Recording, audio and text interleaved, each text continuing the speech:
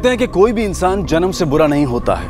लेकिन ये बात सुनकर मन में एक सवाल उठता है कि अगर इंसान जन्म से बुरा नहीं होता है तो वो कौन से कारण होते हैं? कौन से हालात होते हैं जो एक इंसान को तो भला बने रहने का साहस देते हैं तो वहीं दूसरे को बुरा बन जाने पर मजबूर कर देते हैं। ये कहने की ज़रूरत नहीं है कि सही रास्ते का चुनाव करने वाले देर से और मुश्किल से ही सही पर अपनी मंजिल पर पहुँच ज़रूर जाते हैं। लेकिन गलत रास्ते का चुनाव करने वालों का क्या हश्र होता है या हो सकता है?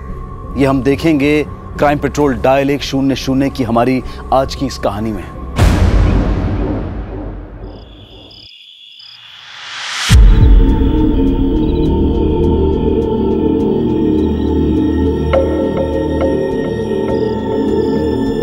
चल चाबी दे जल्दी जल्दी।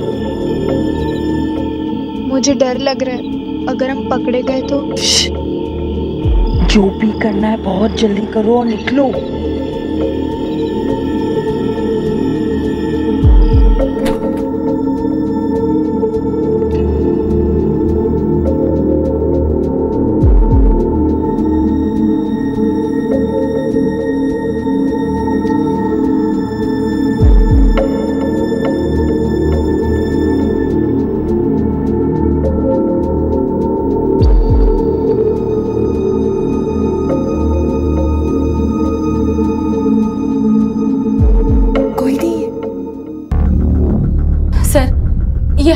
बिट्टू है। कल रात से गायब है। और अ, हमको तो लगता है कि स्वीटू और उसकी बहनों ने इसका किडनैप करके इसको कहीं छुपा दिया है साहब। ये स्वीटो कौन है? बहू है हमारी सर।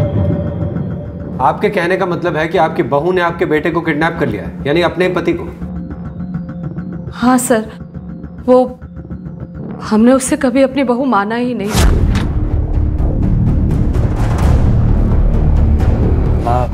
हमने शादी कर ली। क्योंकि हम इस शादी से बिल्कुल खुश नहीं थे।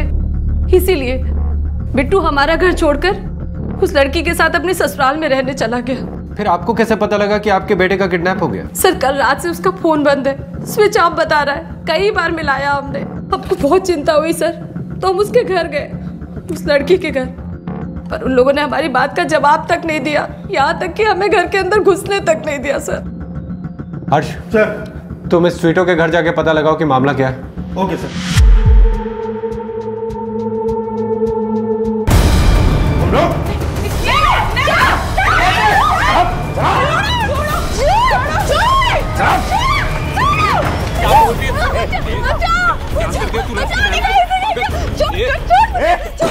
क्या हो रहा है? देखो ना इन्होंने मेरी बहन की क्या हालत की देखो ना कैसे मारा उसको अरे इस पागल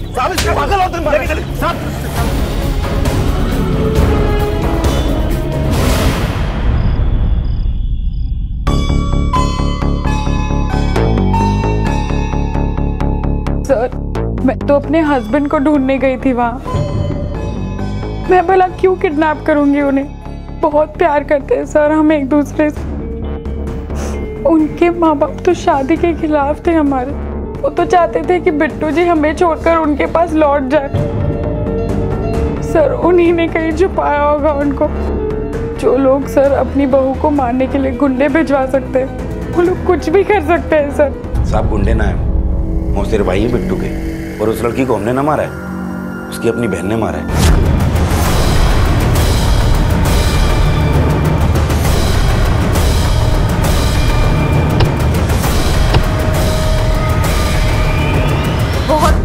खतरनाक और चालाक लड़कियाँ हैं सर। उन्होंने हमारे बिट्टू को फंसाया वरना हमारा बिट्टू कभी उस मोटी लड़की से शादी नहीं करता। खतरनाक हम नहीं उनकी माँ है सर। शादी के दिन ही जान ले ली होती उन्होंने अपने बेटे की। अगर हम ना होते तो। माँ माँ हमारी बात तो सुनो माँ। मत कहो हमको माँ। हाँ? तुम्हारी हिम्मत कैसे हुई इस लड़की से शादी करने की? माँ माँ बता रहे चुप करो।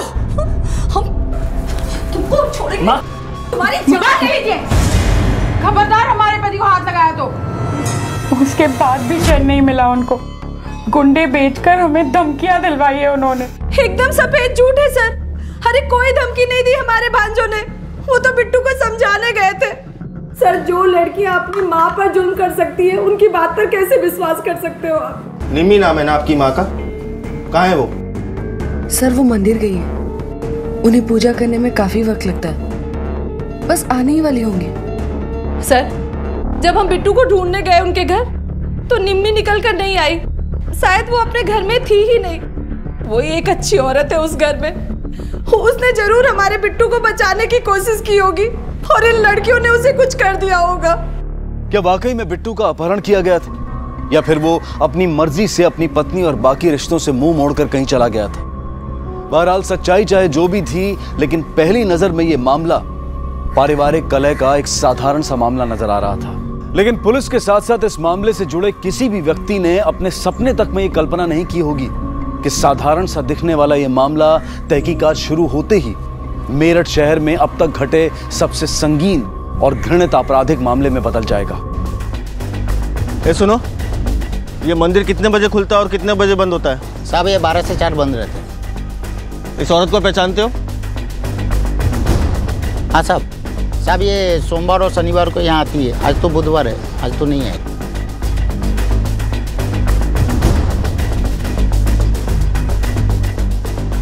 हेलो? सर निम्मी यहाँ नहीं आई। उसे यहाँ किसी ने नहीं देखा और उसका फ़ोन भी स्विच ऑफ़ जा रहा है। यानी कि निम्मी वाकई में सिंह है। क्या?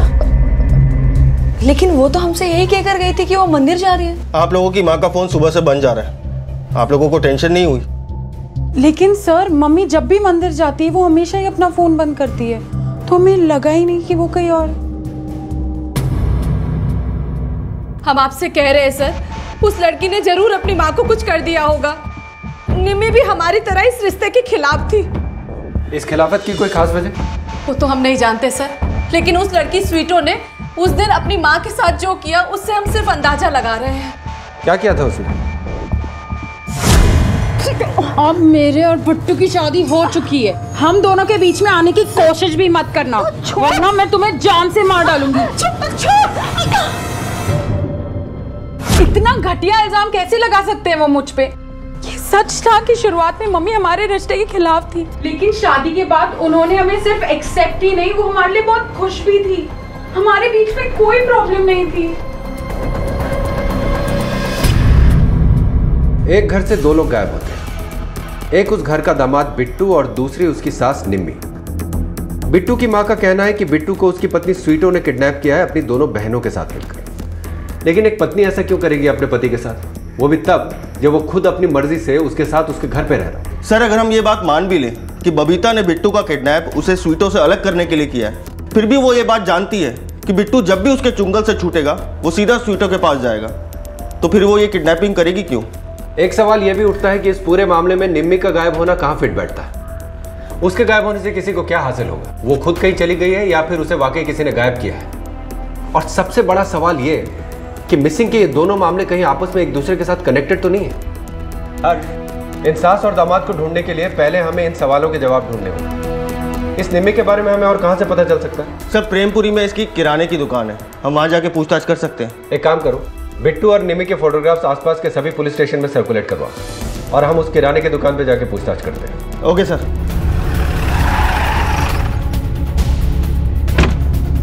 सर यही दुकान है।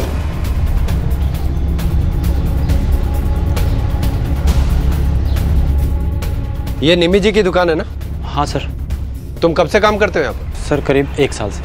बहुत भली महिला थी। कई सालों से यहाँ दुकान चला रही थी। जब बच्चियाँ छोटी थीं तभी उनके पति का देहांत हो गया था। तब से अकेले ही पाल रही तीनों बच्चियों को। किसी से कोई लड़ाई झगड़ा या दुश्मनी? सर घर में झगड़ा हुआ हो तो उनकी काम वाली बता सकती है। यहाँ कुछ दिन पहले बबली दीदी से ज़रूर झगड़ा हुआ है। ये लीजिए। कितना अ, आपका पाँच सौ चालीस हुआ। अरे भाभी जी कुछ तो कम करिए मैं तो आपका रेगुलर कस्टमर हूँ ना। अ, अच्छा ठीक है। आप पाँच सौ दे दीजिए। क्यों? सामान क्या मुफ़्त में आता है? हाँ? धंधा चला रही है लंगर चला रही है यहाँ पर? कोई ज़रूरत नहीं डिस्काउंट देने की पूरे पाँच सौ चालीस रुपए लो। साहब मैं पिछले दो सालों से इनके घर में काम कर रही हूँ लेकिन उनके बेटियों से कभी उनको झगड़ते हुए नहीं देखा। लेकिन कुछ दिनों पहले बिट्टू जी मेरा दिमाग खराब मत करो। मैंने कहा ना मैं बिट्टू को डाइवर्स नहीं दूँगा तो नहीं दूँगा। समझी? ठीक है तुम जा सकती हो। जी सर।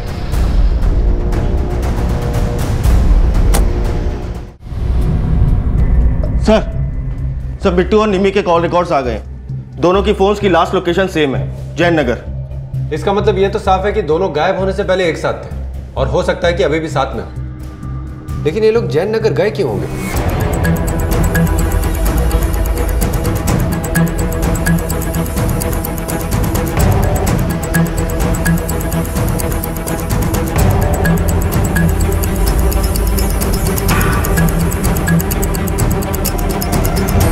इन्हें पहचानते हो? ये यहाँ पर आए थे? हाँ साहब ये यहाँ पे आते जाते रहते हैं।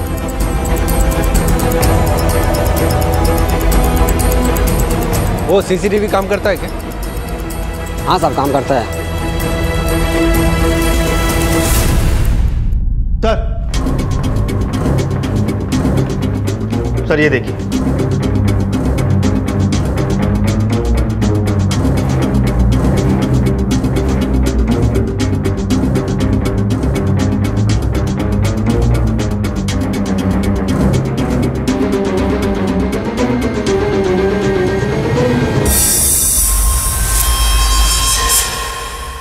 हाँ सर। मैं उनका पीछा कर रही थी। क्यों? क्योंकि मुझे सबूत चाहिए था उन दोनों के अफेयर का।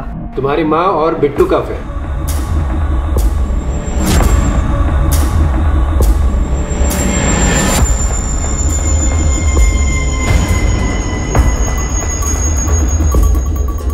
मैंने ये बात स्वीटो को इसलिए नहीं बताई क्योंकि मैं जानती थी कि वो ये सब बर्दाश्त नहीं कर पाएगी। और शायद इसलिए मम्मी नहीं चाहती थी कि बिट्टू और स्वीटो की शादी हो। क्योंकि वो खुद बिट्टो के साथ तो फिर उस दिन तुमने कहाँ तक पीछा किया उन लोगों का? कहाँ गए थे वो लोग? नहीं पता सर। मैंने उनका पीछा किया तो था लेकिन मेट्रो प्लाजा के सिग्नल पर वो लोग सिग्नल क्रॉस कर चुके थे और मुझे रेड लाइट की वजह से रुकना पड़ा था। फिर मैं उनसे नहीं मिली। मुझे लगा वो दोनों एक दूसरे के साथ भाग गए।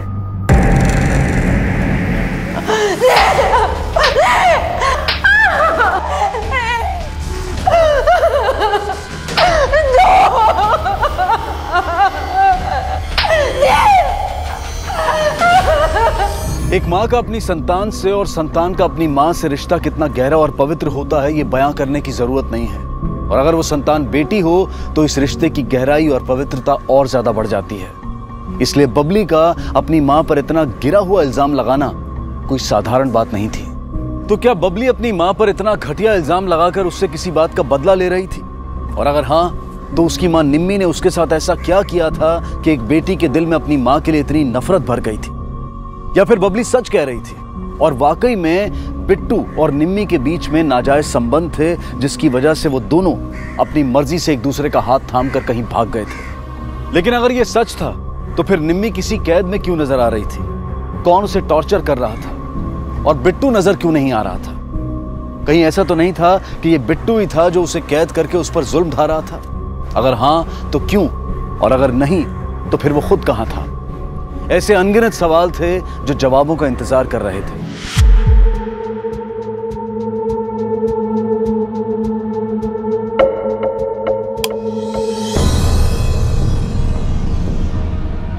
स्वीटू ये क्या कर रही है तू हाँ? तुझे डॉक्टर ने मना किया ना ये सब खाने से? बिट्टू जी बिट्टू जी मम्मी के साथ भाग गए। सोच भी कैसे सकती हो तुम ऐसे? मम्मी चाहे जैसी भी हो। अरे बिट्टू ऐसा नहीं कर सकते। वो नहीं छोड़ सकते हमें। तू मान या ना मान ये सब मम्मी की वजह से हुआ है। समझी? सर निम्मी का कॉल रिकॉर्ड काफ़ी उलझन वाला है। अगर एक दो नंबर छोड़ भी दे जाए तो बाकी सभी नंबर सिर्फ़ और सिर्फ़ मर्दों के ही हैं। काफ़ी लेट नाइट कॉल्स भी हैं सर। सर इनमें से कोई भी नंबर उसके किसी दोस्त या रिश्तेदार का नहीं है। ठीक है बुलाओ इन सबको। ओके सर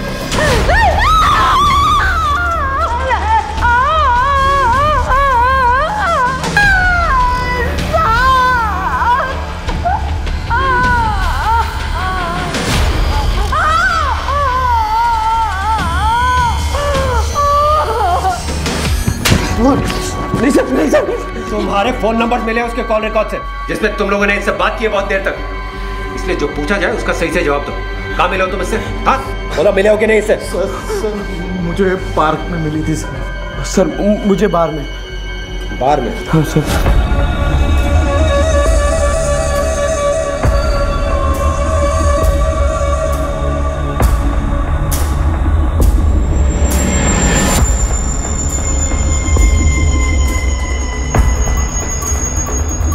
आपको कोई प्रॉब्लम तो नहीं है मेरे साथ पीने में? सर सामने से आई थी। हम दो तीन रातें हमने साथ में गुजारी फिर फ़ोन उठाना ही बंद कर दिया। सर मेरे साथ भी ऐसा हुआ था। एक हफ़्ते में चार बार मिले लेकिन उसके बाद उसने कह दिया कि मुझे आइंदा फ़ोन मत करना। यानी ये निम्मी कोई सती सावित्री नहीं है। लगता तो ऐसा ही है सर। और हाँ सर एक बात और। बिट्टू के पुराने कॉल रिकॉर्ड से कुछ बातें सामने आई हैं। बिट्टू और स्वीटो की शादी से पहले बिट्टू और निम्मी के बीच में काफ़ी बातें भी हुआ करती थी। इसका मतलब बब्बी सच कह रही अरे देख देख ये वही है क्या? जिसकी माँ इसी के पति के साथ भाग गई है? तो क्या हुआ? उम्र ज़्यादा थी। कमर तो कम है ना?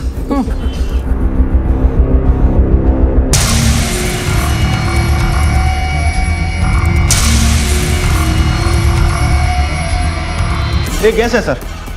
हो सकता है कि निम्मी के जिन जिन लोगों के साथ अफेयर थे उनमें से कोई एक निम्मी को लेके पॉजिटिव हो गया हो और उसे निम्मी और बिट्टू के अफेयर के बारे में पता चल गया हो और इसी जलन के चलते उसने उन दोनों के साथ कुछ गलत किया हो। I mean murder sir possibility तो है। और इस थ्योरी को प्रूव करने के लिए हमें हर उस आदमी को चेक करना होगा जिसका पिछले कुछ महीनों में निम्मी के साथ अफेयर था। राइट सर पता लगा ओके सर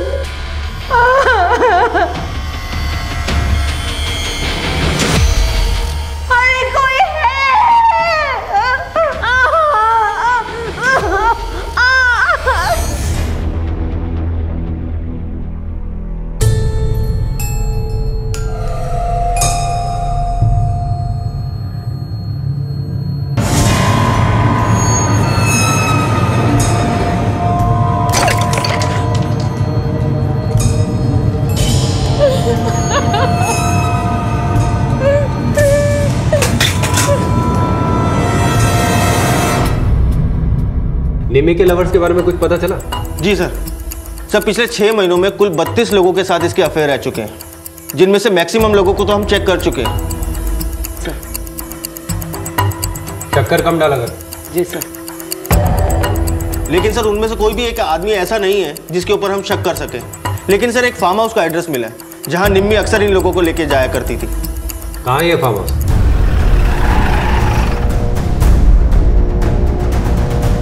सर, ये तो बिट्टू की बाइक है। ब्लड मार्क्स तलाशी लो हर जगह।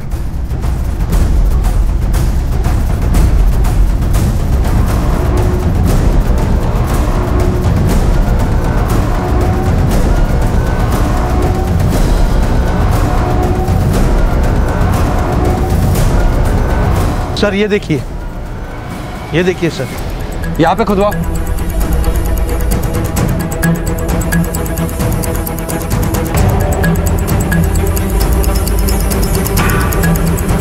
ये तो बिट्टू। है हाँ सर। सर ये देखिए पेट में किसी तेजर हथियार से वार किया गया है। लेकिन अगर ये यहाँ पर है तो फिर निम्मी? निम्मी कहाँ है? एक शख्स की गुमशुदगी से शुरू हुए इस केस में अवैध संबंधों की कालिक के बाद अब खून का लाल रंग भी मिल चुका था। बिट्टू की हत्या हो चुकी थी और उसकी लाश निम्मी के फार्म हाउस से मिली थी। लेकिन तीन दिन पहले निम्मी के साथ निकला बिट्टू यहाँ अकेला था। ना तो यहाँ निम्मी थी और ना ही उसकी लाश।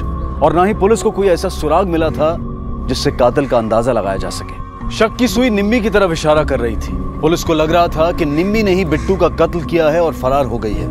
लेकिन सच्चाई ये थी कि निम्मी किसी की कैद में थी और यातनाएँ झेल रही थी। इस बात से यह साफ़ हो रहा था कि निम्मी और बिट्टू के अलावा इस पूरे मामले में कोई और भी था जो छिप कर ये खेल खेल रहा था पागल हो गई है तू हाँ तेरे शरीर की तरह ना तेरे दिमाग में भी चर्बी पड़ी है। तुझे समझ में नहीं आता है? बिट्टू मर चुका है। तुझे अभी ये सब मज़ाक लग रहा है हाँ? झूठ बोल रहे हो तुम सब। कुछ नहीं हुआ बिट्टू जी को। बिट्टू जी ज़िंदा है। मर गए हैं वो। अब कभी लौट कर नहीं आएँगे वो। नहीं। बिट्टू जी मुझे छोड़ के नहीं जा सकते।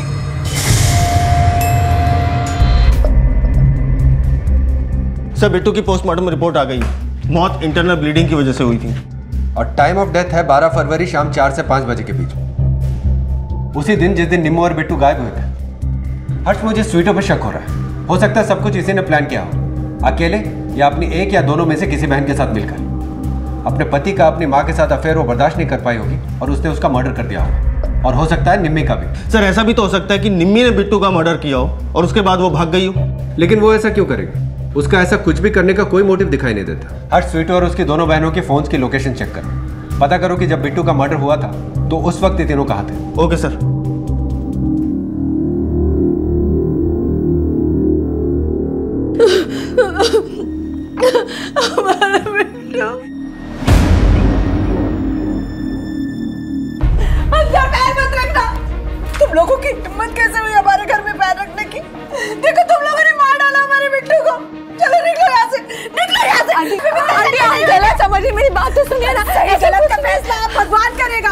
कीड़े पड़ेंगे तुम तीनों बहनों को।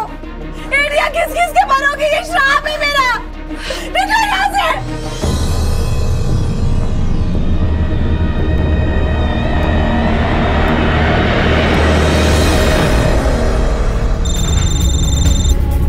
हेलो, सब इंस्पेक्टर हर्ष है?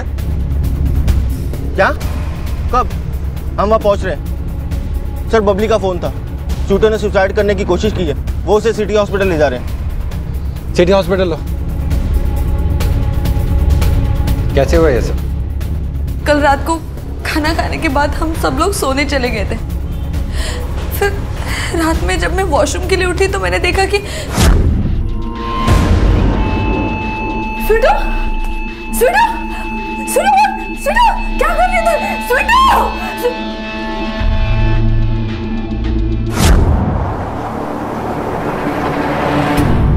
सर, तीनों बहनों का फ़ोन लोकेशन क्लियर है। जिस वक्त बिट्टू का मर्डर हुआ, उस वक्त स्वीटो और हनी घर पर थी। बबली अपनी दुकान पर थी। सर, इसके अलावा स्वीटो के सुसाइड अटेम्प्ट करने के बाद, मुझे नहीं लगता कि स्वीटो ने ये सब किया होगा।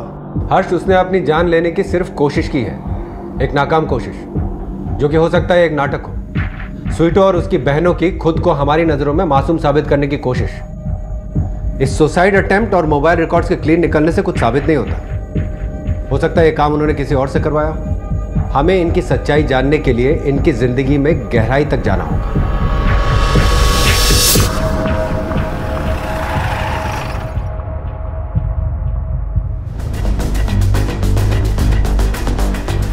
ये लड़की यहाँ पे आई थी। देखो, इस लड़की के फ़ोन रिकॉर्ड से हमें पता चल चुका है कि लड़की यहाँ पर रेगुलर आती थी और तुम्हारे होटल की रेपुटेशन भी हमसे छुपी हुई नहीं है। इसलिए चुपचाप सच सच बता दो। जी सर ये अक्सर हमारे यहाँ रूम बुक करवाने आती है। अकेले आती थी या किसी और के साथ? एक आदमी होता है इसके साथ अक्सर और सर इसके अलावा भी अलग अलग आदमियों के साथ आती है। उनकी कोई आईडी हाँ सर।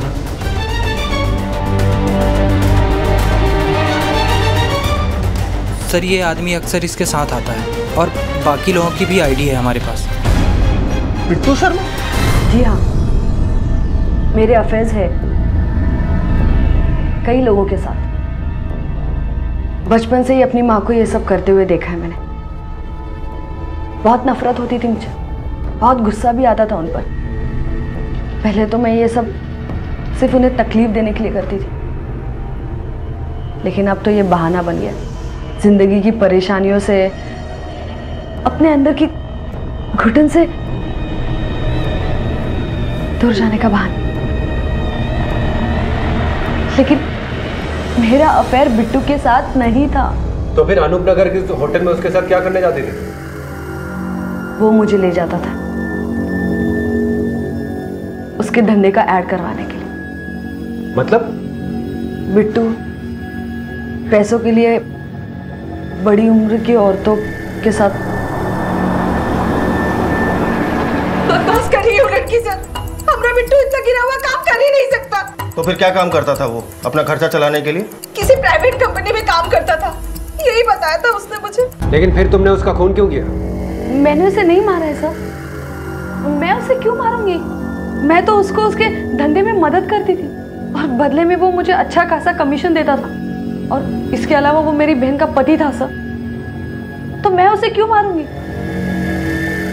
सर बबली ने जो भी हमें कहानी सुनाई थी वो पूरी तरह सच है। मैंने चेक किया सर। बिट्टू के बैंक अकाउंट में कुछ अननोन औरतों के अकाउंट से पैसे आने की एंट्रीज है सर। सर जब जब ये पैसे आए हैं तब तब बिट्टू ने बबली के अकाउंट में एक सर्टेन अमाउंट ट्रांसफ़र किया है। बड़ी अजीब सी फैमिली ऐसा लगता है कि इन सब के बीच में कुछ कंपटीशन चल रहा है कि कौन सबसे ज़्यादा नीचे गिर सकता है। हर्ष कहीं ऐसा तो नहीं कि ये काम बिट्टू के किसी क्लाइंट के हस्बैंड या उनके फैमिली मेंबर का हो? सर बिट्टू के मामले में तो ऐसा हम मान सकते हैं। लेकिन निम्मी इसमें कहीं फिट नहीं बैठती सर। बिट्टू का कोई दुश्मन निम्मी को क्यों मारना चाहेगा? हो सकता है कि बबली की तरह निम्मी भी बिट्टू की पार्टनर रहे। इस सूरत में यह पॉसिबिलिटी हो सकती है। लेकिन फिर जिस तरह की ये फैमिली है यहाँ तो कुछ भी पॉसिबल हो सकता है।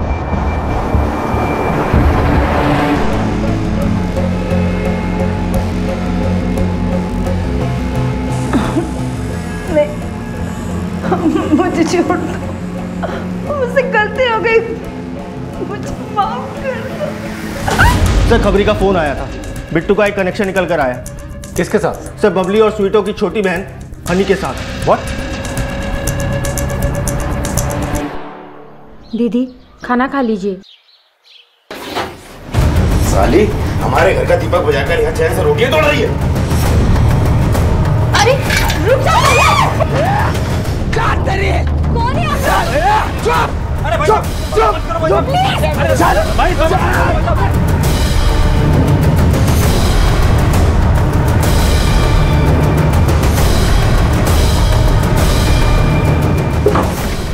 ए दुकान का सारा सामान तोड़ दे।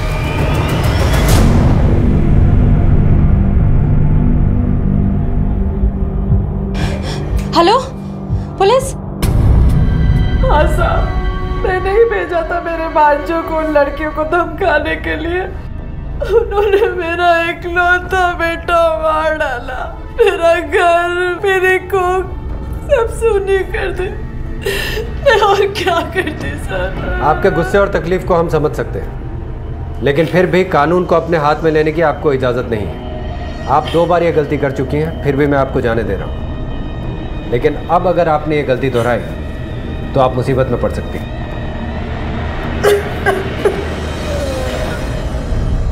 वो लोग वापस आ गए तो? नहीं अभी ऐसा कुछ नहीं होगा। और ये पूरा मामला ही नहीं हुआ होता अगर तुम लोगों ने गलती न की होती। हमारी गलती मतलब? अगर आपने बिट्टू और अपने माँ के बीच की अफेयर वाली बात और बिट्टू के मेल प्रोस्टिट्यूट होने वाली बात हमसे ना छुपाकर हमारा वक्त बर्बाद नहीं किया होता और इस इन्वेस्टिगेशन में हमारी मदद की होती तो हम उस फार्म हाउस तक जल्दी पहुँच गए होते। और आपकी ये छोटी बहन ये तो अभी भी हमें नहीं बता रही है कि इसका भी बिट्टू के साथ अफेयर था।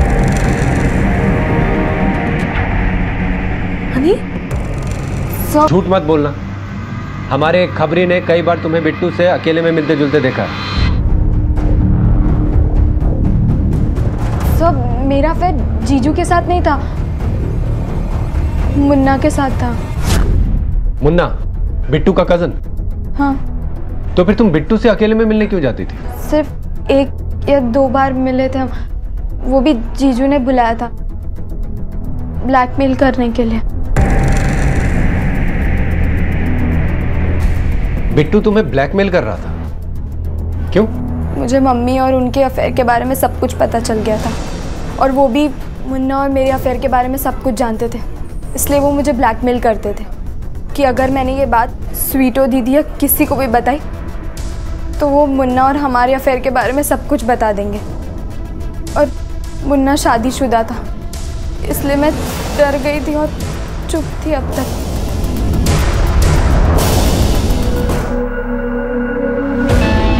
पति पे डोरे डालती है तू?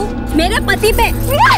बहुत हो गया तुम तीनों बहनों का हाँ? मार इसको! क्या कह रहे नहीं नहीं दीदी प्लीज़ मदद करो मेरी प्लीज़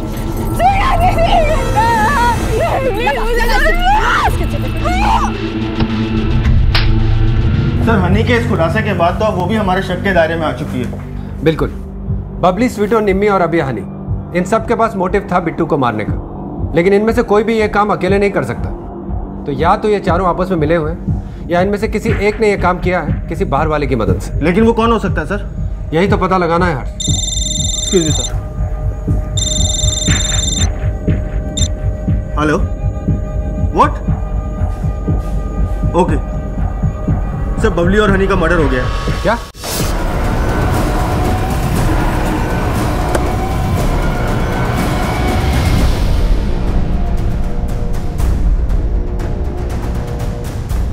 साहब मुझे लगता है ना ज़रूर ये कल की बात की वजह से हुआ है साहब। क्या हुआ था? साहब कल सुबह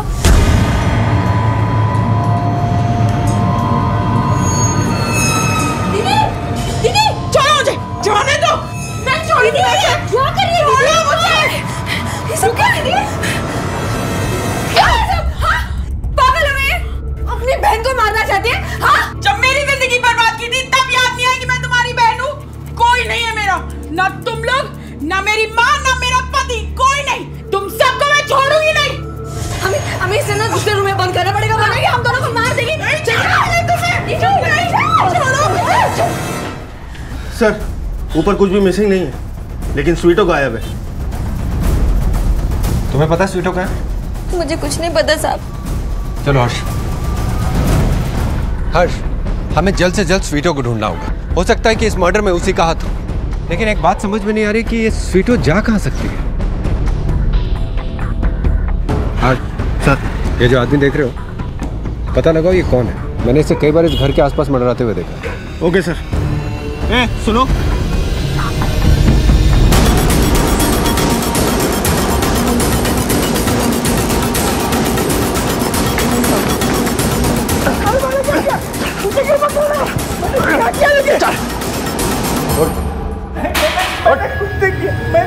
के घर का लैंडलॉर्ड है ना तू? हाँ मैं हूँ। ये फ़ोन तेरा?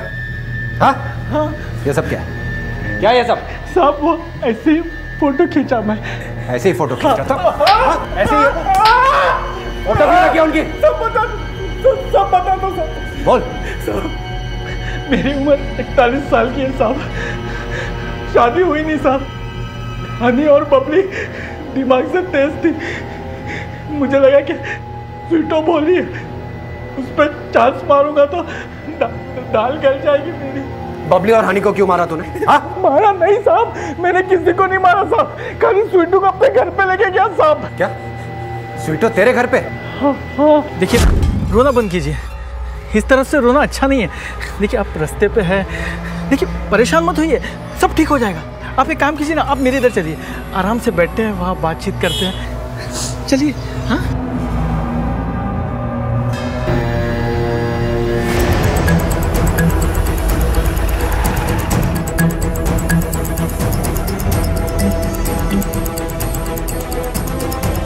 कौन सा खोलो इसको।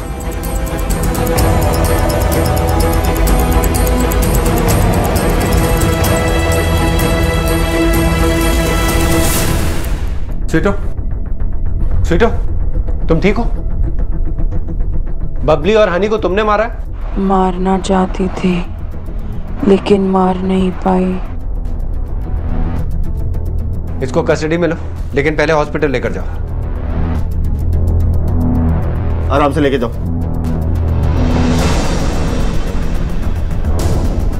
ये झूठ बोल रही है। लेकिन अगर ये सच बोल रही है तो फिर उन दोनों को किसने मारा होगा? सर स्वीटो के अलावा बिट्टू के घर वाले हो सकते हैं। वो ऐसा पहले भी कर चुके हैं। इन बहनों के ऊपर पहले भी वो दो बार अटैक कर चुके हैं। पॉसिबिलिटी है। लेकिन अगर उन लोगों को इनको मारना होता तो पहले ही मार सकते थे। ये कोई और है हर्ष। एक काम करो हर्ष। हर डिटेल हर रिकॉर्ड को फिर से अच्छे से चेक करो। कुछ भी छूटना नहीं चाहिए। कोई तो डॉट है जिसे हम मिस कर रहे हैं। ओके सर हाँ ओके सर निमी के कॉल रिकॉर्ड से एक इन्फॉर्मेशन सामने आई है। सर एक नंबर मिला है उसके पति नरेश का। निम्मी का पति? लेकिन उन लड़कियों के अलावा बाकी सबका तो ये कहना है कि वो पंद्रह साल पहले मर चुका है। वो ज़िंदा कैसे हो गया? सर हमने उस नंबर को ट्रेस करवा के इन्फॉर्मेशन निकलवाई। सर वो मरा नहीं था बल्कि सात साल से जेल में था। तो फिर निम्मी ने सबसे ये क्यों कहा कि उसका पति मर चुका है? कुछ पता चला कहाँ रहता है वो? मेरी ज़िंदगी बर्बाद कर दी निम्मी ने। कई और मर्दों के साथ उसके संबंध थे। मैंने लाख समझाया उसे पर वो नहीं मानी। मैंने अपनी बच्चियों का वास्ता दिया। मैंने उस पर थोड़ी सख्ती की तो उसने अपने आप को घायल करके मुझ पे दहेज और अटेम्प्ट टू मर्डर का झूठा इल्ज़ाम लगाकर मुझे जेल भिजवा दिया। और जेल से छूटकर तुम यहाँ आ गए? जेल से छूटने के बाद मुझे पता चला कि मेरा घर और मेरी थोड़ी बहुत जो प्रॉपर्टी थी वो बेचकर वो कहीं चली गई है। मैं उसे ढूंढता रहा और जब मुझे पता चला वो यहाँ है तो मैं यहाँ आ गई जिस औरत ने तुम्हारी ज़िंदगी बर्बाद कर दी उससे मिलने की तुम्हारी इतनी बेकरारी कुछ समझ में नहीं आ रही। मैं निम्मी से मिलने नहीं आया था सर।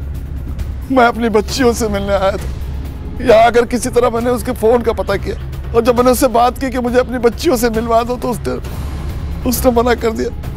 और कई दिनों से तो उसका फ़ोन भी बंद आ रहा है। वो इसलिए कि वो गायब। हम उसे ही तलाश कर रहे हैं। और एक बात बड़ी दुख से हम आपको बता रहे हैं कि आपकी सबसे बड़ी बेटी बबली और सबसे छोटी बेटी हनी। इन दोनों का खून हो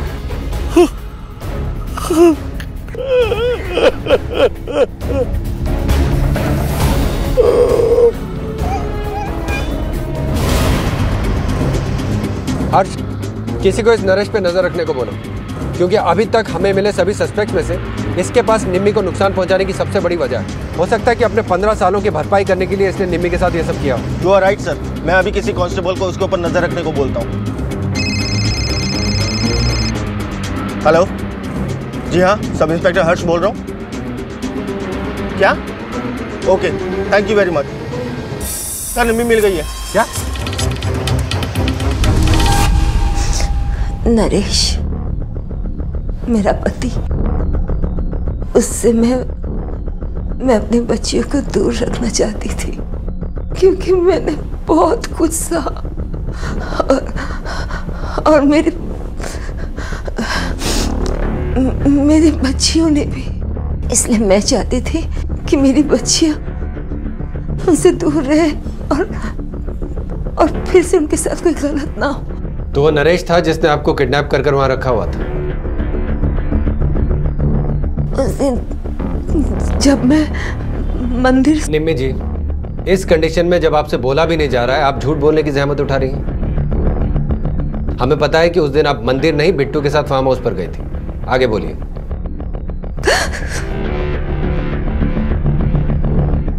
जब हम वहाँ से निकले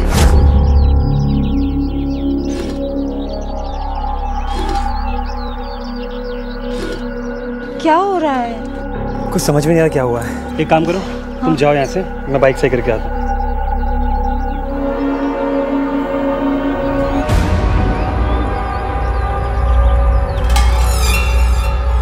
तुम यहाँ क्या कर रहे हो? हाँ क्या कर रहे हो यहाँ? आखिरी बार तुमसे पूछ रहा हूँ। मुझे मेरी बेटियों से मिलने दोगे कि नहीं?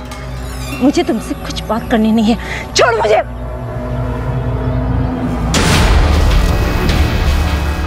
उसके बाद जब मुझे होश आया तो मैं एक बंद कमरे में थी।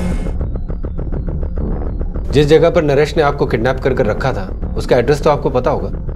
इंदिरा नगर छब्बीस बटा एक सौ आठ।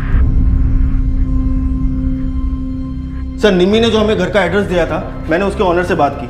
वो दिल्ली में रहता है सर। उसने एक ब्रोकर के थ्रू वो घर रेंट पर दिया था। मैंने उस ब्रोकर से भी बात की।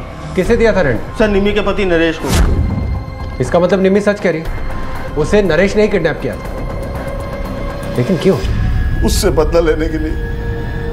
उसकी वजह से मैंने अपनी ज़िंदगी के सात साल जेल में गुजारे। उसने मेरा सब कुछ छीन लिया। मेरी बच्चियों से मुझे मिलने नहीं दिया। तो मैं उसे कैसे छोड़ देता साहब? तू बबली और हनी को क्यों मारा हाँ? मैंने नहीं मारा सर उन दोनों की खबर तो मुझे आप लोगों से मिली सर मैं अपनी बच्चियों को बहुत चाहता था। मैं उन्हें क्यों मारूँगा? सर। सर, बबली और हनी का मर्डर हुआ 18 फरवरी को और निम्मी नरेश के चुंगल से निकल के भागी 20 फरवरी को। इस दिन नरेश के फ़ोन की लास्ट लोकेशन निम्मी के घर के आसपास नहीं थी। लेकिन स्वीटो के मकान मालिक गुड्डू का ये बयान है कि मर्डर वाली रात वो स्वीटो को अपने साथ ले गया था। वहाँ उसने उसे बेहोशी की दवाई दी, बेहोश किया और उसके बाद उसके साथ रेप किया। तो सर इन सब बातों के बाद हम स्वीटो के ऊपर कैसे शक कर सकते हैं? उसके इस लैंडलॉर्ड गुड्डू की डिटेल्स कॉल रिकॉर्ड्स और बैकग्राउंड चेक करो। और रही बात स्वीटो की उसे क्लीन चिट देनी है कि नहीं? ये डिसीज़न हम उसके डॉक्टर से बात करने के बाद ही लेंगे। राइट सर उस लड़की पर आपका शक पूरी तरह से बेबुनियाद है इंस्पेक्टर साहब। हमने उसका ब्लड टेस्ट किया है। And according to the report वो सेडेटिव उससे करीब 18 से 20 घंटे पहले दिया गया होगा। जिसके बाद तुरंत ही वो बेहोश हो गई होगी। और फिर नेक्स्ट डे मॉर्निंग ही उसे होश आया होगा। तो आपके मुताबिक इस बीच उसका उठना और एक खून करके फिर से लौटाना is totally impossible sir Nimmi के मकान मालिक गुड्डू के कॉल रिकॉर्ड से एक इंटरेस्टिंग बात सामने आई है। 12 फरवरी को शाम तीन बजे से लेकर शाम 6 बजे तक ये गुड्डू निम्मी के फार्म हाउस वाली लोकेशन पर ही था। यानी कि ठीक उस दिन और वक्त जब बिट्टू का मर्डर हुआ। हाँ सर।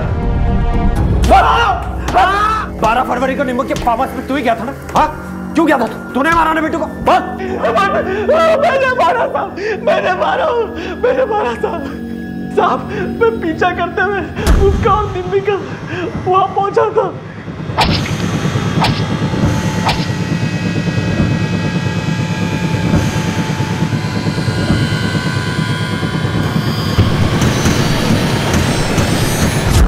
क्यों मारा तुमने बिट्टू को? क्या दुश्मनी थी तुम्हारी उससे? बिट्टू था ना साहब एक नंबर का कमीना था। हुआ निम्मी के साथ भी उसने चक्कर चला के रखा था साहब। इसके लिए अपनी स्वीटों को उसके चुंगल से छुड़ाने के लिए साहब मैंने मार दिया। हनी और बबली को भी तू नहीं मारा है ना? मैंने उन लोग को नहीं मारा साहब। अपनी स्वीटों की कसम खा के बोलता साहब मैंने उन लोग को नहीं मारा है साहब। सर जिस नंबर से इंदिरा नगर थाने में कॉल करके निम्मी के बारे में इंफॉर्मेशन दी गई थी उसे ट्रेस कर लिया गया है सर। सर आपको जान के हैरानी होगी सर। बबली और हनी की मौत के बाद यही नंबर उन्हीं के घर में एक्टिव भी था। किसका नंबर है? माँ नहीं डायन हो तुम। तुम्हारी वजह से हम तीनों बहनों की ज़िंदगी बर्बाद हो गई है। मैं हर एक चीज़ का बदला लूँगी तुमसे। मेरे बिट्टू जी को छीन लिया ना तुमने? मेरी बहनों को और मुझे बर्बाद कर दिया। कुछ नहीं सुनना मुझे। क्या कर रहे हो? पकड़ो इसको। पकड़ो। चाकू ले लो इसके से मैं नहीं छोड़ूँगी इसे। सुनो सुनो शांत हो जा। प्लान तो बहुत अच्छा बनाया था तुमने। लेकिन फिर अपने ही फ़ोन से अपनी खबर पुलिस को देने की गलती ने तुम्हारा प्लान भी चौपट कर दिया और तुम्हारा खेल भी खत्म। ले चलो इसको।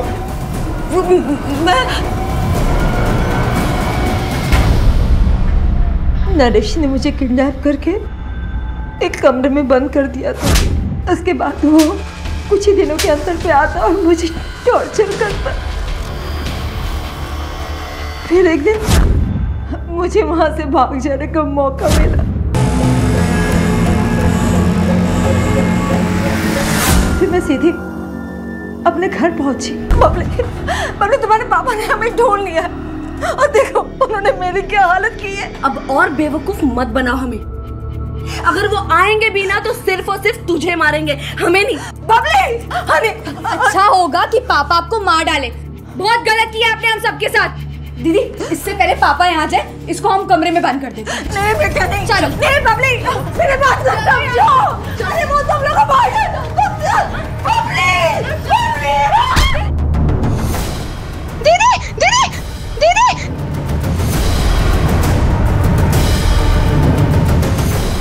क्या किया तुमने?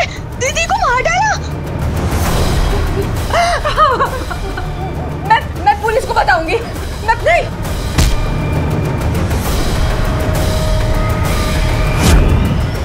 और उसके बाद तुम इंदिरा नगर गई।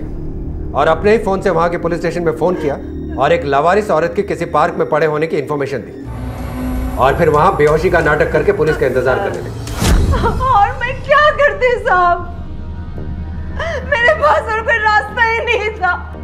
मैंने अपने बच्चियों के लिए क्या क्या नहीं किया? तुमने अपने बच्चों के लिए जो कुछ भी किया उनकी ज़रूरत के हिसाब से नहीं किया बल्कि अपनी सहूलियत के हिसाब से किया। जिसे त्याग नहीं स्वार्थ कहते हैं। इंसान जो कुछ भी करता है उसे वो वापस मिलता है। सजा तो तुम्हें मिलनी ही है। अभी तो तुम्हें सिर्फ़ आधी सजा मिली।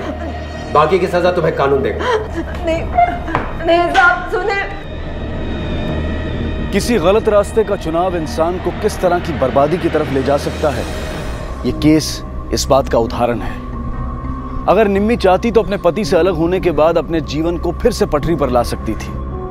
किसी ऐसे इंसान का हाथ थाम कर जो उसे समझता, सम्मान देता, उसे प्यार करता। इस तरह उसकी शारीरिक और भावनात्मक जरूरतों की पूर्ति भी होती और वो अपनी बेटियों के प्रति अपने फ़र्ज़ को भी निभा पाती।